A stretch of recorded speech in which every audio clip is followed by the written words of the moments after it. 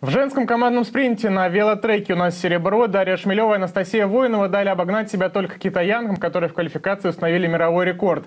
Затем, как там складывалась борьба, наблюдал Антон Лядов. Серебро наше на пьедестале Анастасия Войнова и Дарья Шмелева. Китаянки обогнали российских спортсменок на каких-то две десятых секунды. В карьере обеих спортсменок это первая олимпийская награда.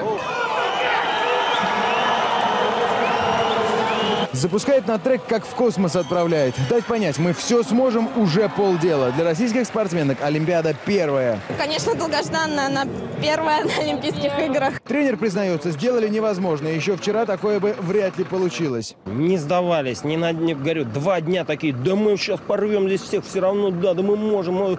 И вот эти, с таким настроем они прожили вот эти вот пребывания здесь в Олимпийской деревне. И я сегодня, честно говоря, был очень поражен, когда они показали свои лучшие секунды. Я уже, честно говоря, вчера начал сомневаться.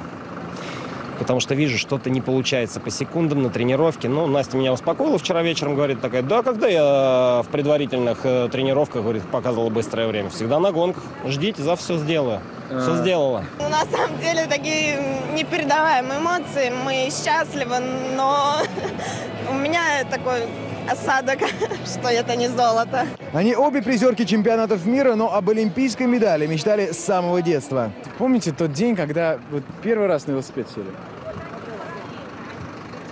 Конечно, помню. Как это было?